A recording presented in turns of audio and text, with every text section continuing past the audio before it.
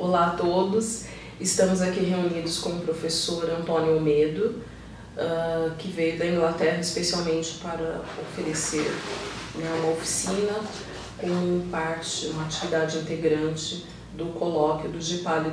Então, durante essa semana, o professor Antônio Almedo, que é da Universidade de Roehampton, e University College of London esteve conosco né, oferecendo uma oficina discutindo uma das perspectivas de análise em políticas educacionais, que é a rede educativa, ou rede, redes de políticas educacionais né, constituídas. Então vamos ouvir um pouco né, a fala do professor Antônio Almeida.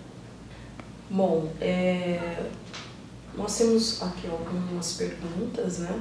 que eu acredito que é de interesse comum para a todos os pesquisadores do campo de políticas educacionais, bem como né, pesquisadores da área da educação.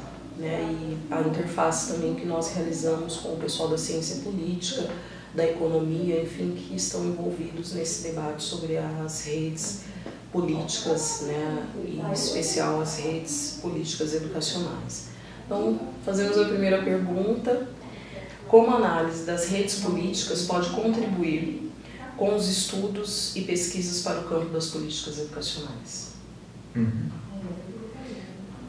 Bueno, lo cierto es que la red de política o las redes que construimos a lo largo de nuestra investigación son solamente el resultado, o si queremos una, eh, una aproximación metodológica a un problema más grande.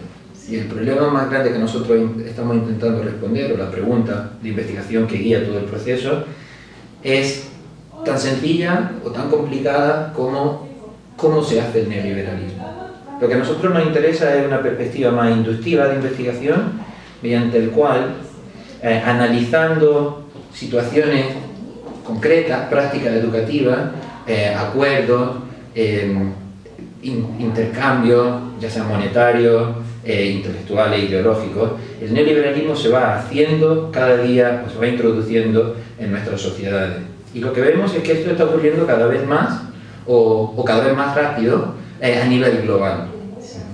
Pero de nuevo, la intención de la red no es responder al problema de lo global, sino responder o, empezar a dar respuesta al problema de qué ocurre en nuestros contextos cotidianos. Por lo tanto, haciendo neoliberalismo, o cómo se hace el neoliberalismo, o si queremos ponerlo de otra manera, el neoliberalismo en nuestra vida cotidiana, o la vida cotidiana de nuestras aulas, de nuestros colegios, de nuestras regiones, es la pregunta que guía el proceso de investigación. Y ahí viene todo el, el, aparataje a continuación. Y es que tratando de responder a estas preguntas se abren nuevos interrogantes, como por ejemplo quiénes son los actores, cuáles son las relaciones entre ellos, cuáles son las ideas, de dónde vienen, de dónde proviene el dinero, la influencia. Y ahí ese, esa pregunta, o, el hecho de empezar a responder esas preguntas, ya sea por em, investigaciones en internet, en periódicos, en, entrevistas, en el análisis de documentos políticos, en el análisis de panfletos, de campañas publicitarias, comienza a construirse toda una red de relaciones que es lo que nosotros entendemos como la red global de, de políticas. Así que la red nos, nos ayuda a entender esta nueva configuración, estas nuevas relaciones que serán dentro del campo de la política educativa.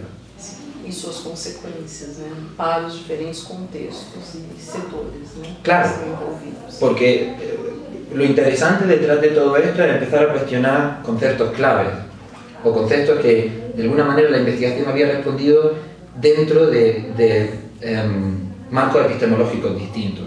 Y quizá la pregunta más clara en este caso es quién es el Estado, quién configura el Estado, entendiendo que eh, la colonización del Estado por parte de los gobiernos, que se había producido a partir de los años 40, 50 en adelante, eh, está cambiando, está siendo mutada y, de alguna manera podríamos defender que el Estado se está repopulando.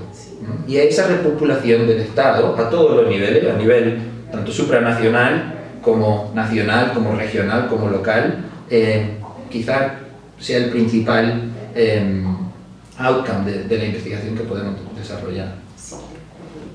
¿Y cuál relação, ou como nós poderíamos estabelecer uma relação desse tipo de análise, né, da, no caso da discussão das redes políticas educacionais, com o ciclo de políticas, que muito se debate aqui no Brasil, as, as contribuições metodológicas ou a ferramenta né, do ciclo de políticas em duas perspectivas, uma de análise uhum. é, do Estado, né, nessa, nesse movimento iliar, de uhum. hierarquia, e essa proposição mais contemporânea a respeito do ciclo de políticas que envolve o contexto. Como que nós poderíamos estabelecer essa relação entre o ciclo enquanto ferramenta y las mm. redes políticas. Claro, el ciclo de política está basado en el análisis de cinco contextos, principalmente, que son los cinco contextos que yo creo que todos conocemos ya. Em, la pregunta que, cabe hacerse a continuación es ¿quién popula esos, esos nuevos contextos? ¿O quiénes son los nuevos actores que están a cargo de ese proceso de reinterpretación de la política? Desde el, contexto general de producción de ideología, en el cual eh, las ideas se forman y circulan, los nuevos conceptos, las nuevas teorías se generan y la política comienza a convertirse eh, o a modificada a su vez por el discurso, hasta el contexto, si queremos, de producción, donde se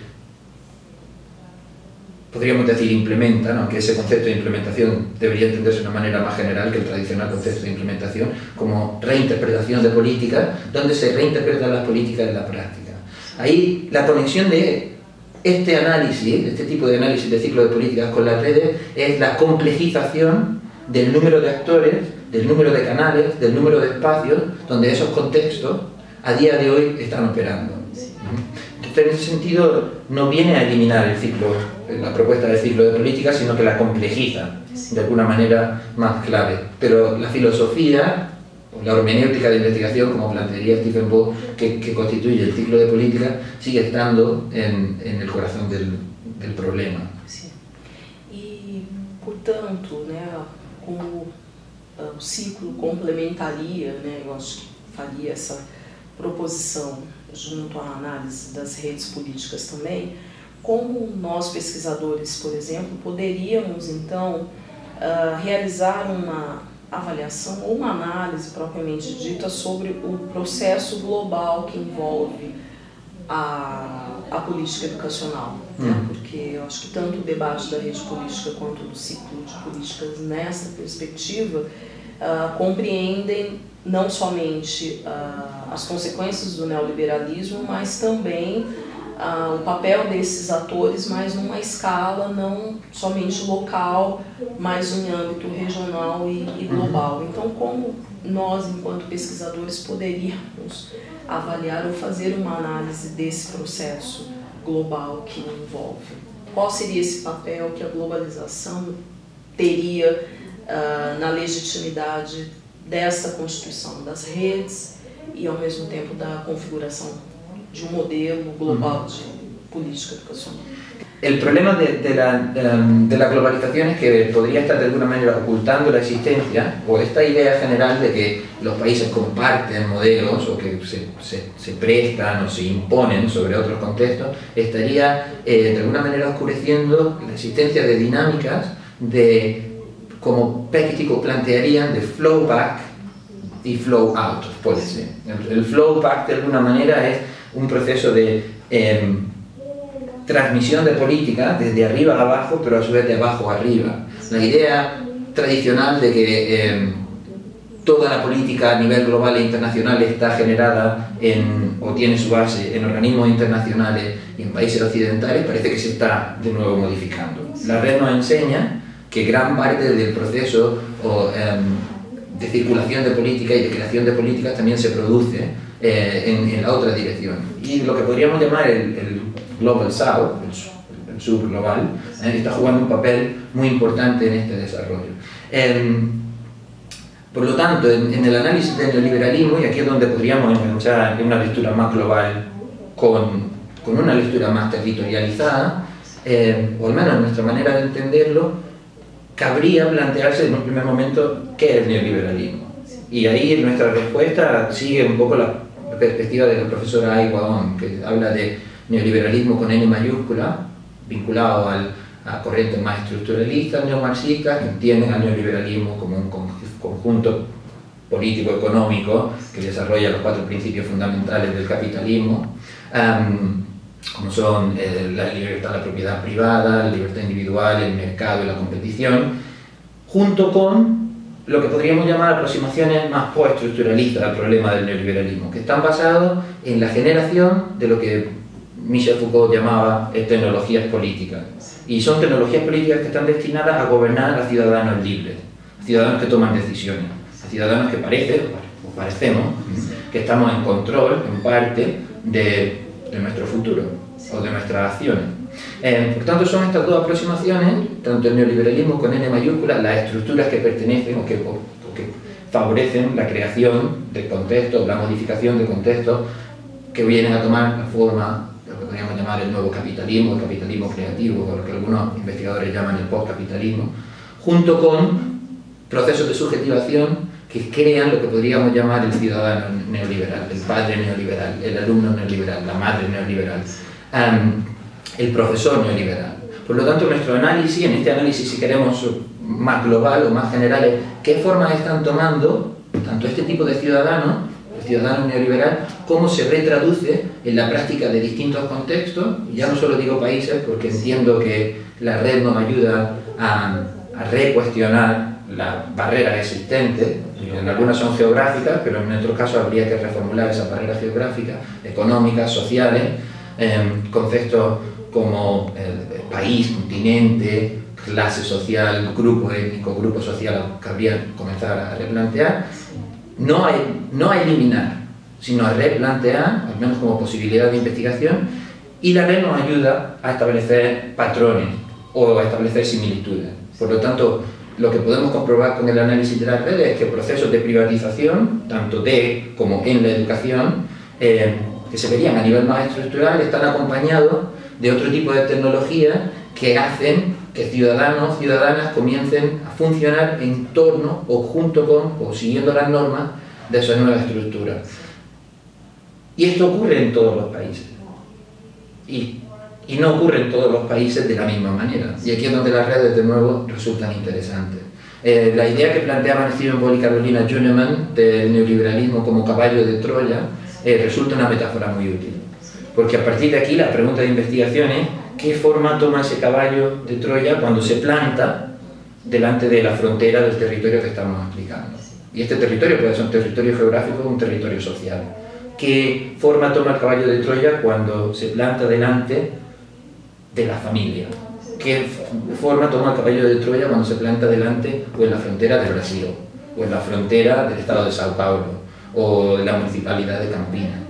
Entonces, ese caballo de Troya quizás sea la gran pregunta. Lo que detectamos con la red es que los caballos de Troya existen y a partir de ahí necesitamos un análisis más etnográfico o más cualitativo para permitir definirlo y entender cómo funciona. ¿Cómo podríamos entonces a partir né, dessa configuração de análise, né, compreender o papel da educação comparada nesse processo, compreendendo o estabelecimento dessas redes, da interrelação cultural, econômica, política, uhum. né, e uma transcendência geográfica, né, como nós poderíamos também analisar o papel da educação comparada nesse sentido, ou não seria possível pensar nessa perspectiva, na constituição dessas redes, a proposição da educação comparada, ela desaparecería ou não? Yo no creo que, que el, el, problema sea un problema de nuevo disciplinario. Habría que entender el proceso de surgimiento de la disciplina para de nuevo entrar en un debate sobre qué disciplinas siguen siendo útiles y cuáles no. Eh, y creo que es un debate que a día de hoy nos haría perder mucho tiempo y mucho esfuerzo que podríamos dedicar a otra cosa. Lo que entiendo es que en nuestra investigación hemos tenido que echar mano, aprovechar, utilizar em, tanto a compañeros como a fuentes de investigación que no pertenecían tradicionalmente al campo de la política o lo que podríamos llamar al campo de la educación comparada. Nosotros hemos destinado el 90% de nuestra investigación leyendo periódicos económicos, em, em, leyendo panfletos antropológicos, incluso documentación que pertenece prácticamente al mundo del análisis y la gestión de empresas. Claro, la gran pregunta que se hace tanto la política educativa como la educación comparada es ¿qué nuevas herramientas necesitamos?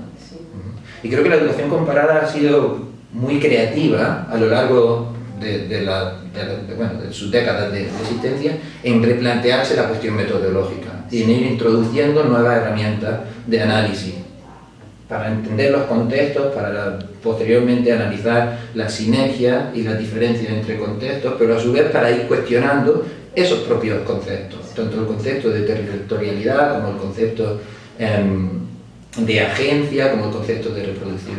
Em, por lo tanto, no creo que la educación comparada de alguna manera vaya a desaparecer, sino que entiendo que la educación comparada entra en diálogo y casi que desde su surgimiento esto ocurre em, con otras disciplinas. En este caso, a mí personalmente me resulta muy difícil localizar mi investigación dentro de un área. Y quizá, creo que siguiendo a, un poco a Steven Ball, rechazo em, la necesidad de tener que determinarme de manera fija o estable o inamovible dentro de un mapa o paradigma teórico determinado, no epistemológico, pero paradigma teórico determinado, a su vez como dentro de un área disciplinaria. Em, por lo tanto, en ese sentido creo que tenemos que ser más creativos y menos partidistas. Y, la academia está llena de partidismo y de política interna, que en la historia de las disciplinas, no, como la historia de las disciplinas no te muestra. Última pregunta, ¿cuál sugestão é, daria aos pesquisadores de política educacional no Brasil, diante do atual contexto que nós estamos vivendo, né, de um rompimento de modelos e, e propostas e proposições políticas educacionais que nós estamos vivendo né, no presente momento. Assim. Que sugestão, que orientação você daria para os pesquisadores? Creo que Michel Foucault dijo una vez que em, si él no decía cómo tendrían que hacerse las cosas, no es porque él no sepa cómo tendrían que hacerse las cosas, sino porque entiende que haciendo eso estaría imponiendo una manera determinada de ver el mundo en, otras personas. Em, y yo no quiero caer tampoco en ese mismo error. Em, mi sugerencia no puede ir en la dirección de haz las cosas de una manera determinada, sino única y exclusivamente piensa de manera diferente. La investigación que necesitamos hoy no es una investigación que confirma paradigmas, no es una investigación que eh, trae modelos de fuera e intenta hacer la pregunta de cómo ocurre esto en Brasil y si está ocurriendo o no. La investigación que necesitamos a día de hoy se tiene que encontrar al margen ser posible fuera de, pero ante la imposibilidad, al menos cuanto más al margen posible del marco epistemológico en el cual nos movemos, que es el que nos, señala las barreras que tenemos a la en la forma de entender el mundo. Por lo tanto, la respuesta es continúe haciendo preguntas. Y quizá el concepto que tenemos como más central sea el concepto que tenemos que revisar más. Y a partir de aquí por lo tanto, estamos abriendo nuevos espacios para el desarrollo de, la, de las ciencias de la educación y en este caso de la política educativa. Conceptos como Estado, clase social, currículum, ideología, son los grandes conceptos que, de nuevo, no con la intención de deshacernos de ellos o destronarlo, sino con, las, con la intención de entenderlo o redefinirlo, tenemos que empezar a cuestionar desde el principio. Entonces la pregunta a cada investigador es cuáles son tus verdades fundamentales. Y esas son las verdades fundamentales que hay que poner en cuestionamiento. Y en este caso estaríamos hablando de conceptos teóricos, de paradigmas. Si no conseguimos hacer eso, el gran riesgo es que el discurso hable por nosotros. Que el discurso nos convierta en algo distinto. Y en ese punto volveríamos al margen de cómo se opera dentro del neoliberalismo con N minúscula. Es la idea de cuestionar la libertad del individuo y en este caso la libertad del investigado. Y creo que ahí es donde podríamos empezar a generar un, un análisis, una aproximación a la política educativa diferente. Muito obrigada, gracias. Foi um prazer. Sim. Prazer. E estamos aqui com o professor Antônio Medo, né, que pôde, acho que, trazer alguns elementos para nós pensarmos a respeito das análises em políticas educacionais. Graças. Muito obrigado.